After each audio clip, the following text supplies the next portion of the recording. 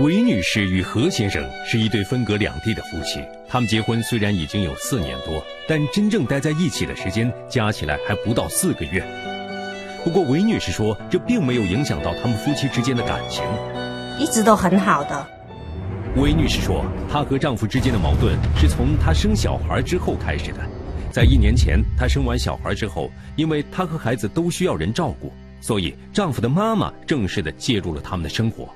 本来这是一件好事，可是她摊上了一个非常特殊的婆婆。她是一个很强势的人，从来没有见过一个如此强势的人。但是我们尊敬老人，或者是心里面的一个包容的一个东西，要内心的一种修养，还是要需要有的。韦女士的丈夫何先生没有否认自己的妈妈有些强势，但他认为问题主要还是出在妻子身上。实际上，他老人家七十多岁了，更像一个小孩，更需要人去关心，更需要人去疼爱。能融入这个家就融入，实在融入不了的话，那就算了。我说不放思想就放人。何先生说，如果妻子要一味的和自己的妈妈较劲儿，他只好放弃这段婚姻。对你妻子有一种路人甲的感觉。假如胡老师的老婆是一个天天的一个麻烦制造者，制造一大堆，我觉得胡呃胡老师他也会头痛。何先生到底为什么会说出这样的一句话呢？他的妻子韦女士真的给他制造了很多麻烦吗？在这起由婆媳关系引发的夫妻矛盾中，究竟有着怎样的复杂性？我们的调解团队能否抓住问题的关键，为他们指明一条出路？让我们拭目以待。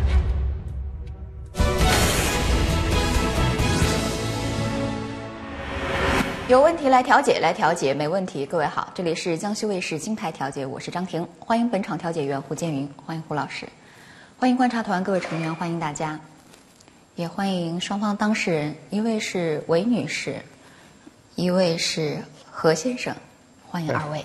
嗯，我们来了解一下两位当事人来金牌调解各自的诉求是什么。我们现在感觉生活快过不下去了，夫妻都反目了。这这种情况也持续了很长一段时间，然后我们都不知道怎么处理，也不知道怎么相处。可是你说你们夫妻都要反目了，啊，为了什么？跟我婆婆不和嘛。你认为你们目前的状态是他和你妈妈的这个婆媳问题引起的矛盾吗？一大部分。在婆媳这个问题上，你你能处理吗？你觉得自己处理的怎么样？我在中间是起一个调解的作用，起到了吗？我肯定去做过，而且是做了差不多快一年的调解，结果的话也不是很理想。我妈妈现在是已经七十多岁了，不管是从身体状况，还是一个人为的一个传统观念和一种生活习性吧，很固定了。一个是改变很难，第二个的话。越老，他也希望有人疼，有人关心。所以在婆媳这关系方面，你对你妻子的看法是？最主要是不懂关心，不懂尊敬、孝顺，不能够设身处地，就是要去体谅别人的一个感受。一开场，何先生就没有否认自己的妈妈在处理婆媳关系上存在一些问题，不过他觉得主要的问题还是出在妻子身上。不要抓住别人的小辫子，不要因为一些鸡毛蒜皮的事情而在那里斤斤计较。我觉得他就是一个比较逃避的态度，就是不作为。韦女士说，本来她和丈夫之间是没有矛盾的，但由于丈夫在她和婆婆发生冲突的时候没有一个明确的态度，使她感到非常寒心。而她和婆婆之间发生的事情，也绝对不是鸡毛蒜皮的小事。你跟你婆婆。从什么时候开始，大家心里有不高兴？我认为在医院里面，第一个争执的地方就是我剖腹产。我剖腹产了之后，他就一直每天都唠叨，就说你剖腹产，你不是好女人。如果你是好女人，就是应该好生好养。为什么说这番话？肯定是心里面有不高兴了才说出来的。如果剖腹产的话，我花了一万，就说住院花了一万块钱嘛，就他又说我。花了一万块钱，还不如就他花拿一万块钱去买一个小孩回来，这种事情还算是一个小事嘛？我应该心里面扔就比较舒服，扔就无所谓嘛。我妈农村妇女嘛，她就没有剖腹产的这个概念。她不知道什么是剖腹产是吗？对。所以说她就觉得生孩子一般都是顺产的嘛。没听过，那她怎么就会认为是不是个好女人？好女人不好女人，我没有听到过。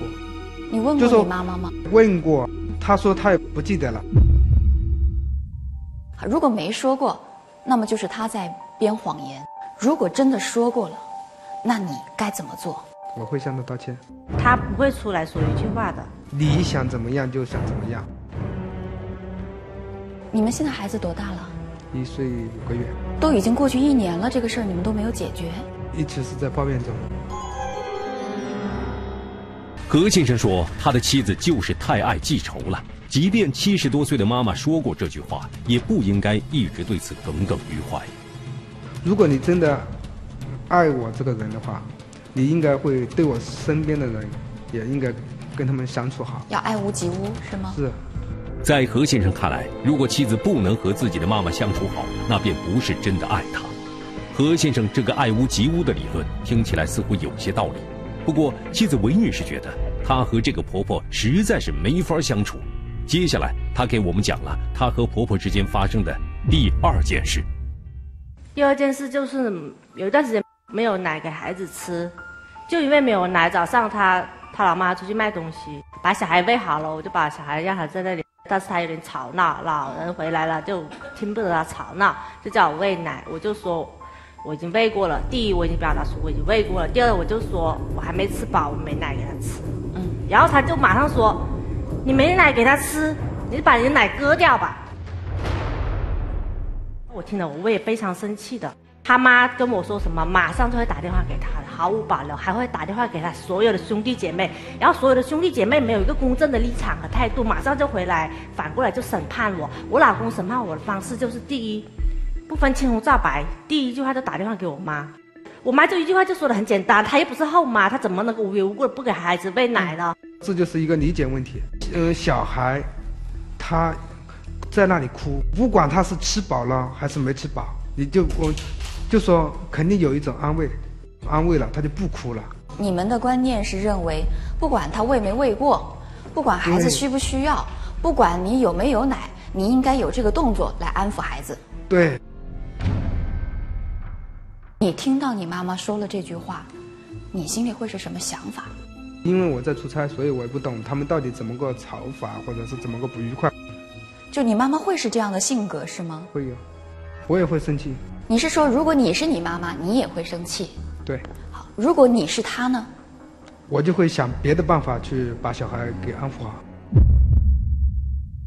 在这件事情上，韦女士再次和婆婆发生了激烈冲突。丈夫何先生继续认为是妻子做的不够好，如果妻子做的够好，矛盾便不会发生。调解才刚刚开始，何先生的态度让调解员胡建云忍不住插了一句话：在胡老师看来，妻子韦女士在这两件事情中的确受了很大的委屈，丈夫完全不应该有这样的表现。你的心没有宠妻子的一点。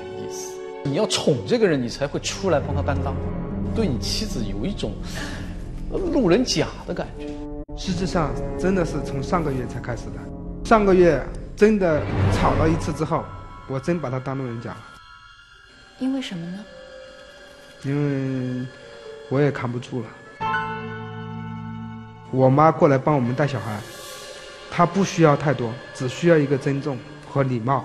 上班下班进家门，打声招呼吧，叫声老妈，我回来了或什么，嗯，或者是老妈我上班去了，然后吃饭的时候就说老妈吃饭。在这一点，他做的是欠缺的，是吗？对，老人七十多岁了，带小孩也很辛苦。他是早上七点钟就去上班了，晚上要等到七点钟、八点钟才回来，连续带是很辛苦、很心烦的一件事情。嗯回来的话，又看到你跟医生招呼也不打，或者是一句好话也没有，我能不能而理解且我还要做做好饭菜给你等你回来吃，吃嗯、这饭菜的味道不合我的胃口，我还在那里说，我能不能理解为你妈妈是一是身体的辛苦，第二是心里的不愉快？对。韦女士，你是不是像你丈夫所说的，对婆婆态度这方面是做的不够的？开始不是，现在是从什么时候开始的？从吵架开始，从剖腹产开始。韦女士说，在她剖腹产之前，虽然她对婆婆谈不上很好，但基本的礼貌还是有的。自从剖腹产被婆婆说成不是好的女人之后，她的心中的确压着一团火，对婆婆也冷淡了很多。曾经她还想过要找机会慢慢修复婆媳关系，不过后来发生了一件事，让她觉得，她根本就没有办法修复这种关系。我生了小孩之后，我把我那些报销的资料拿拿到我们厂里面给我们厂里人报销。那我就起得很早，我起得很早，我一有点动静的话，那婆婆看我就是看一个，反正看我平时看得很紧的，只要我的门一响，门一开或者怎么样，她就时时刻刻盯着我，盯着。平时我上下班也是盯到没有人领为止的。那天她就问我出去干嘛了，我就直接跟她说我拿东西去给我报销，然后她就说你什么报销什么之类，你就是去找野男人。又说我这个孩子是野仔，要拿去做验血做 DNA 鉴定，是他的，他们要，如果不是的话，就就把我们都撵出门。你怎么办？我怎么办？那当时气得不得了了，当时有激烈的冲突，吵起吵起来了，吵得很严重。当时我就跟我老公讲过这个事情，他就是无动于衷，什么都。当没发生，当没有听见。一个女人在家里面其实也是很不容易的，嗯。其实很多时候也也是要忍受很多孤独，很多寂寞。这种东西，如果就说我爱他，他爱我，我们有这种思想，有这种东西支撑的话，我也觉得过得去。如果这个男人都这么都这样来看我，或者要这样子对我的话，我觉得根本就没有办法去支撑。很有可能，关于这个野孩子，是还是我老婆提首先提出来的。这个事情，很多时候你就说。这个不，嗯，这个小孩你们不用管了，这个小孩只是我在外面野来的，根本不是你们，嗯，你们何家的人，我妈才会接着这个讲。这是，这只是你自己的猜测是吧？他有当着你的面说过这种话吗？有。在什么情况下说这番话？也是在不愉快的时候，因为我平时回家陪他也好，陪家人的时间不多，缓解的一个力量也是不够。但是你今天给我制造一团嗯一出不高兴，明天制造一出不高兴，我也觉得很累。何先生承认，长期在外工作的他没有充当好妻子和母亲之间的沟通桥梁，自己也有一些责任。但要论责任的大小，无疑妻子应该肩负更大的责任，因为在他的心里，妻子一直是个不成熟的女人，一直喜欢被人宠着，根本就不会主动的理解和关心别人。在结婚的头两年。他一直是哄着妻子过来的，两年多的，每天打一个小时电话，讲两个小时童话故事给他听。想起从前的一幕幕，何先生对妻子怨气难收。自己在那里争，一天去制造麻烦，天天都有擦不完的事情。成年人吧，不是三岁小孩了，真的是自己不去处理这个人际关系，不去跟别人一个交好。我就想问一句。你嫁到桂林三四年了，你有一个朋友吗？我的朋友是不多，我觉得交一两个就合适。然后我性格本身也是内向的，我也承认，不能就说你这没有朋友就证明你否定了你所有的。我们五个兄弟姐妹，还有包括我父母，你跟谁没吵架？你跟哪一个关系好？为什么说跟他爸会吵架？跟他爸吵架，他爸是那种完全听他妈的。他妈这种非常强势，而且就是说掌控欲望非常的强烈。他觉得我儿子都能这么听我的话，来了一个女人也要这样子听我的话，他就觉得我好像剥夺他的某些权利，什么事情都不能听我的。那你感觉你自己强势吗？虽然我不温顺，其实我还是讲道理的。就是说你，我爸妈他们年龄大，不好相处，思想观念陈旧。那你到我三姐家去住了一年，你跟我三姐处的关系怎么样？觉得三姐还是很好，对我也很好，我认可。反正我一直感激。然后就说为什么之后会跟他三姐不好？原因不是我推卸责任，我认为是出在他妈那里。因为我去他三姐那里住，刚开始住的时候他妈就不让我去那里住，但是我老公又让我去住，他妈不高兴了。住了一年之后，我们这新房装修好之后就搬出来住了，他妈就要求我要给他三姐钱，我就说给。那么何爷亮说不给。三姐对我们那么好，不要那种钱来买断的这种方法，我觉得那也是。那我姐姐没拿，那我也可以采取。以后我们就说，如果我们大人请平时给三姐小孩本来给个两百块钱红包的话，红包的形式来体现。然后下一次我们就给一千，他们家三个小孩每打打就差差不多了，这种来的那问题比较顺出在哪？大妈不愿意。见一次就说一次，见一次就说一次，每次都叫我给钱给他三姐，我受不了了。他妈妈认为是你不肯给，是吗？对，我就讲到去三姐那里吃饭要给钱的，我都不如不去。那三姐为什么对你有意见？他妈肯定是经常性会在他们面前说嘛，觉得我对他妈不好。有一次我们去三姐家给红包，然后相互之间他跟他三姐扯来扯去，那个红包给谁我也并不知道。嗯，到后来有某一天过去了一段时间，他妈就说你把那个红包拿去哪了？我就说我没有拿哦，你不要说我，他就一口咬定你拿了，你就是拿了，他说就是给了你。我说你这个污蔑我，肯定心里面不说。然后我这两件事情之后，我是不爱去他三姐那里。我去他那里，他妈看不惯，他会觉得我吃到他三姐，喝到他三姐的。你在三姐家，我妈她嗯说提到了，就说要给三姐一点钱，你完全可以答应的啊，好的好的，我给就行了。妈妈在你面前提过吗？提过，你有告诉你妈妈吗？我也跟她讲了，我说这个嗯这个钱到时候我来给，可是你自己刚才也说，你也跟你妈妈说了，对但是你妈妈还是会说呀。时间不会持续多久啊，最多不就说个你个三次五次就完了嘛？难道连三五次我都忍受不了？你觉得她不应该理会妈妈这些，继续跟三姐还怎样是怎样？是。无论妻子和婆婆之间发生的是直接矛盾还是间接矛盾，在丈夫何先生看来，都是因为妻子做的不到位导致的。对于妻子满腹委屈和痛苦的诉说，何先生根本无视。何先生这样的态度，让调解员胡建云再次打断了他的诉说。他在这个家里面争什么呢？真的是在家里面的一个声音，一个地位。对，他在家里是争地位吗？还是在家里争尊严？你要是看不懂他，你就会简单的把他看成一个麻烦制造者。我不懂，不懂，就说在家庭里面的尊严是什么？最简单的，不管是任何人，老人还是年轻人，在大家意见相左的时候，都不能去进行人身攻击。如果出现人身攻击，会让别人很愕然、很奇怪、很惊讶，然后很绝望。因为出现人身攻击，就说明在这个家里面自己是没有任何尊严的。那大家如果是带着情感去爱着对方的话，任何批评其实都会让人家感觉到很舒服。但是如果出现一些伤人的字眼的话，那我们就不能简单的说，你看这是老人家嘛，嗯，那我们就应该站出来。你可以批评他，你是长辈，但你不能去这样说人家。他也是我们要尊重的人。那好，妈妈改变不了，你也不好好去讲你妈妈，没有问题啊。你比如说今天我就很渴望听到你说什么呢？就是说哦，我没有没想到我妈会这样说你，那有机会我要提醒她，哦，听到我都很心疼。但是我建议你跟我妈妈可以用什么什么什么什么的方式，这个你可以说的。我觉得这很多矛盾、很多争吵是可以避免的。的确，很多矛盾是可以避免。矛盾在什么时候可以化解？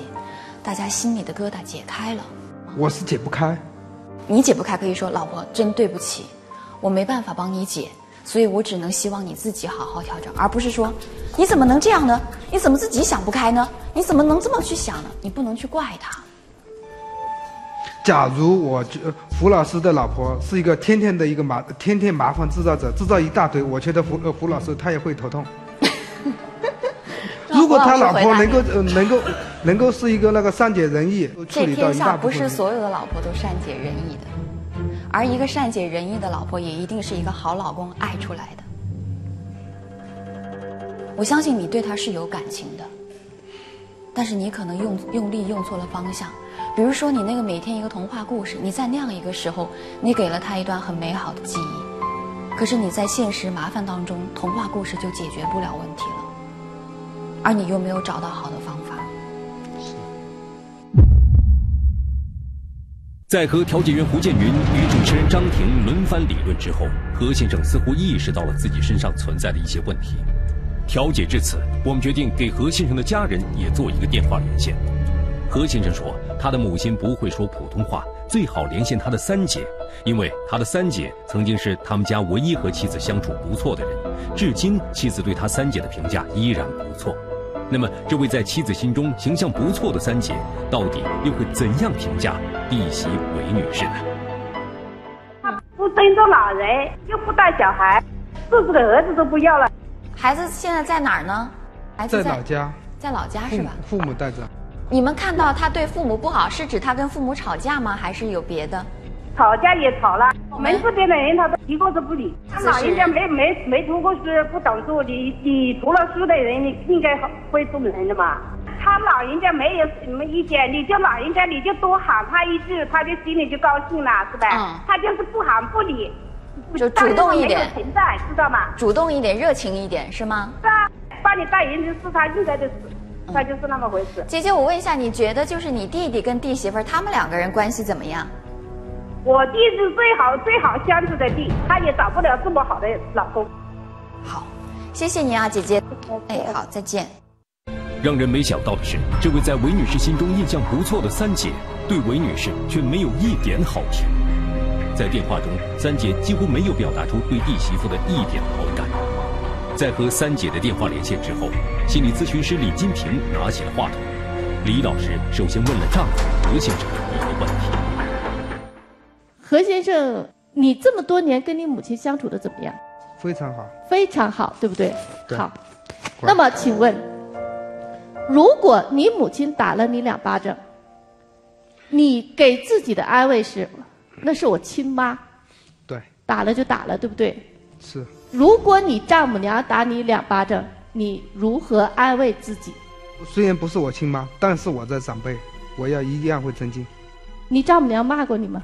骂过，打你，当时的感受是什么？我没可能会去跟他争吵或者什么之类的。好，我知道我应该做什么。如果今天在这个现场，你妻子所言你母亲的行为属实，那么你母亲跟人的相处显然是有问题的。但是，因为你以你忍辱负重的方式与你母亲相处了几十年，相安无事，所以你会觉得这个事情应该是这样的，你可以忍。因为你能忍，所以你认为别人也应该能忍。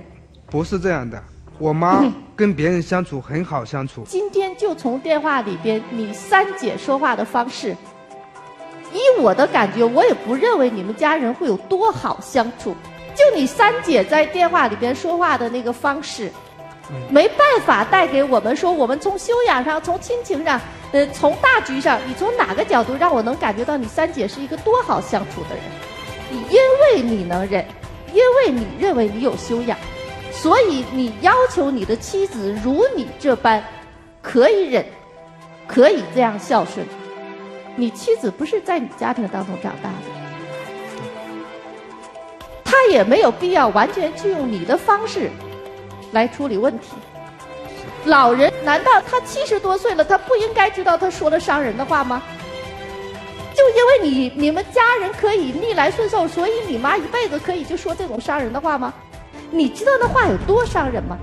就因为你们家没有一个人告诉你妈，她说话是伤人心的，比刀子还厉害，所以你妈妈才可以这样肆无忌惮的说下去，所以才不能最终的解决问题，你知道吗？忍不是解决问题。何先生，嗯看得出来你实在是无力招架这些鸡零狗碎、一地鸡鸡毛，我看得出来你已经是，呃，几近要走入到婚姻崩溃的边缘。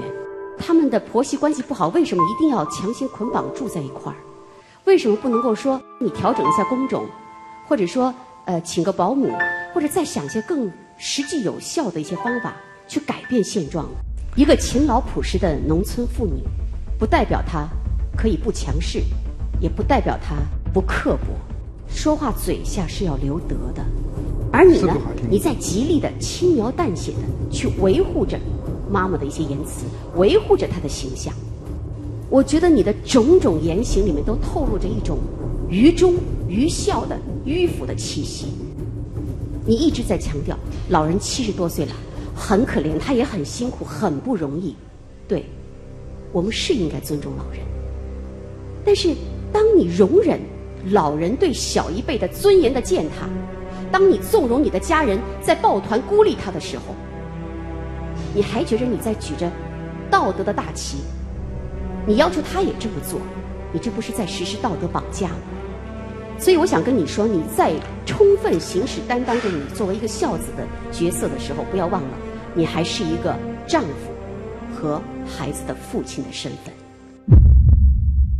何先生，在您的心里面，身边的韦女士，可能是一个曾经你可以在电话当中给她讲一个多小时童话故事的女孩，也是一个和你母亲产生对立的女人，是一个给你带来麻烦的当事人。到现在，你说已经成为了一个路人甲，在你的心里面。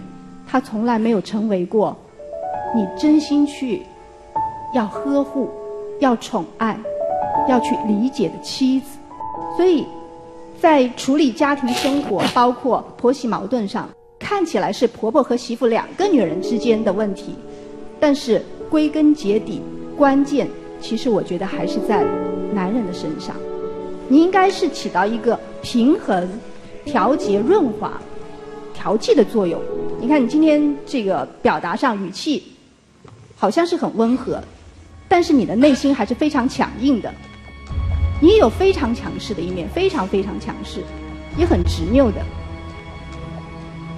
就从你对这个韦女士，你认为两大你不可饶恕的两点来讲，第一点，你认为韦女士抓住小事不放；第二点，你说她应该爱屋及乌，入乡随俗。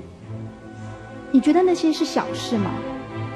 当一个女人真的在一个家庭当中、一个家族当中，她都找不到自信和自尊的时候，被贴上人品恶劣、坏女人这样标签的时候，她是举步维艰的。可是你却要她无条件、无底线、无原则的去接受这一切，在你心里没有真正的把她当做自己的妻子，把她当做自家人来看待。你根本就没有把他融入进来，所以真心希望您多理解、多换位思考、多去感受他人的感受。观察员李金平、武运和李凡都指出了在丈夫和他的家人身上存在的突出问题。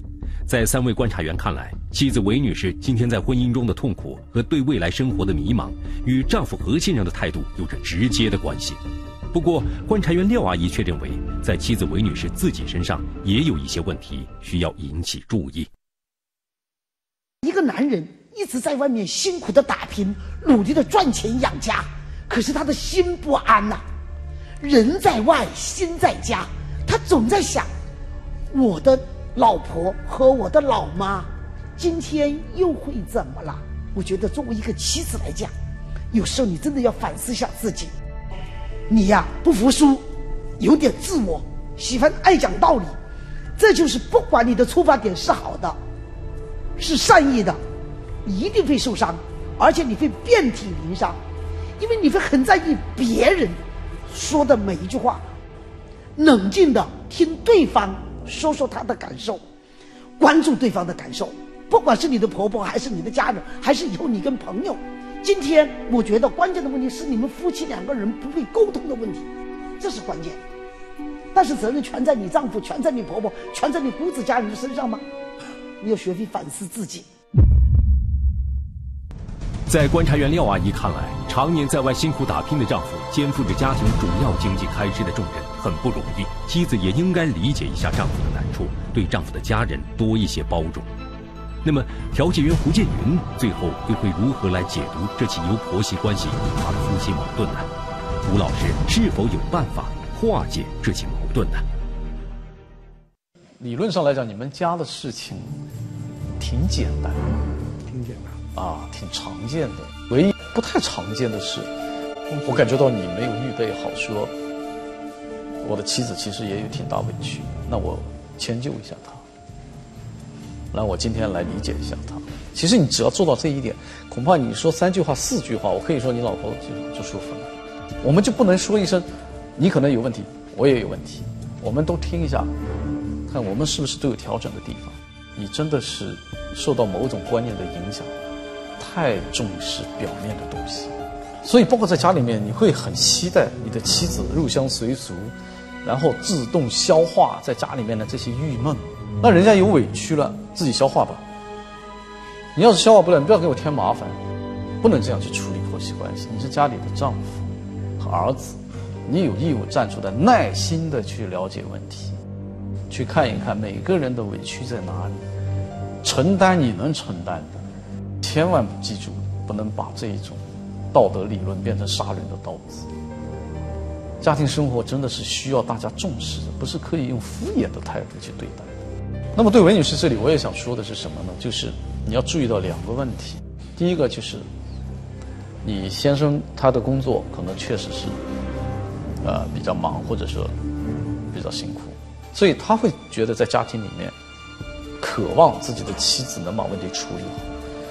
那么从客观上来讲，在他的角度来看，你是没有处理好，所以他心里面也有失望。然后你也看到，他不是说一点都不不尽力。但是他确实显得简单一点，但是确实是个两个人是要相互去帮衬的。你这一边怎么样来，尽量去分担一些。第二个的话，你这位婆婆按你的描述来说的话，确实是挺难相处的。但是你也要坚信一点，人心都是肉长。如果说他能对自己的儿子能有时候也能够正常，那我能不能绕开呢？我不要跟他正面。我迂回去获得其他人的理解和支持，统一战线嘛。这妈妈这一边，我该做的我做到，给自己一定的时间，给这个家庭一些机会。按照胡老师的意思，只要夫妻双方能够同心同力处理好婆媳关系，也并非不可能。当然，这里面身为丈夫的何先生无疑应该做出更多的努力。调解至此，胡老师决定进入密室环节。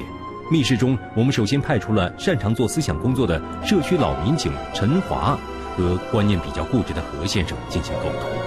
你听了这么多，就是在处理这个夫妻关系这一块，还有帮助你爱人处理婆媳关系这一块，你有个什么想法？我想知道。像像我们说的，嗯，我们能够抱成一个团，嗯。嗯嗯，你嗯不是我们主动去把你孤立起来的，我我们也那个微信加那个群，嗯，也会有创建一个家庭的群，嗯，我拉了他两次进去，嗯，他就退出了两次，嗯。何先生说，其实他的妻子也是一个比较固执的人，他曾经多次想让妻子融入他们的大家庭中，可是妻子一直很反感，他也比较头痛。我觉得你内心呢？在处理婆媳关系这方面，你还是要有信心。我感觉到你信心不足，没有啊。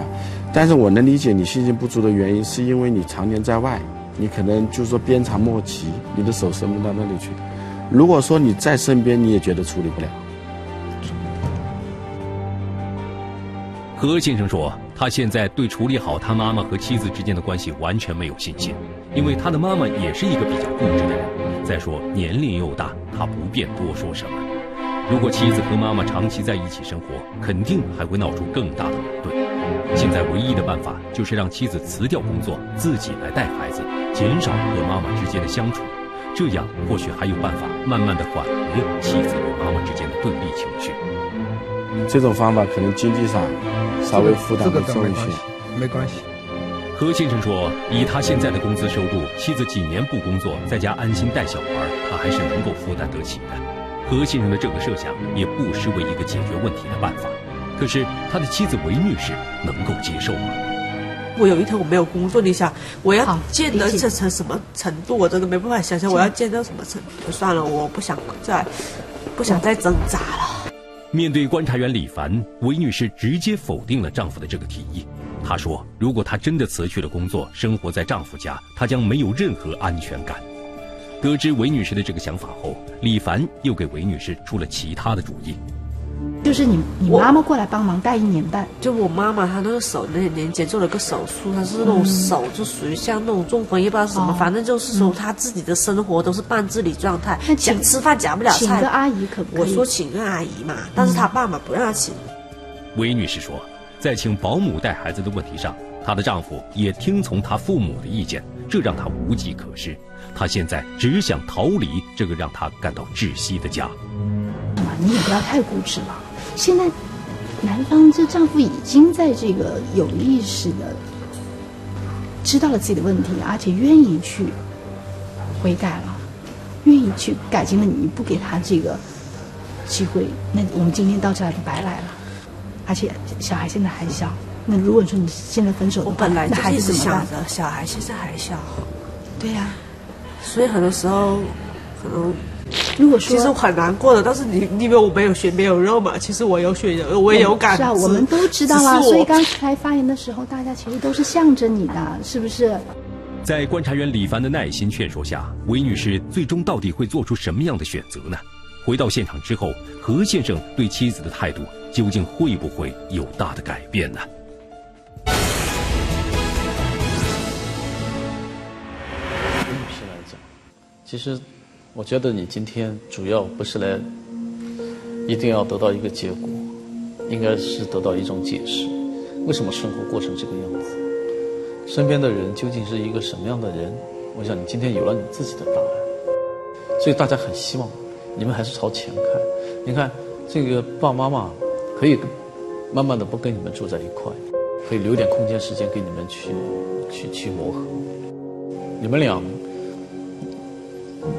因为在这个婚姻里面也不是很有经验，慢慢积累经验嘛，慢慢的可能就会找到怎么跟对方相处，那也有这种调整的空间。希望两位能够先假设对方是对的，对方有些建议我是可以听的，然后朝前走。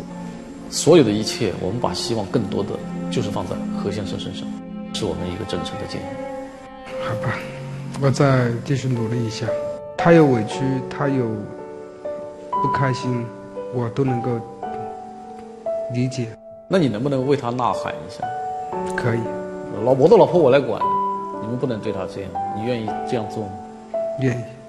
我不希望将来我的孩子在这种单亲家庭里面长大，不希望那种无可估量的那种性格上的偏差怕发生在我的孩子身上。何先生对于你们将来的生活，何先生的安排是什么？一家人还是要和气一点，嗯相处要好一点，夫妻的一个关系和小孩的一个抚养的一个事情，大家都应该重视起来。小孩，我还是觉得就是说我们自己带吧。魏女士愿意这样吗？愿意。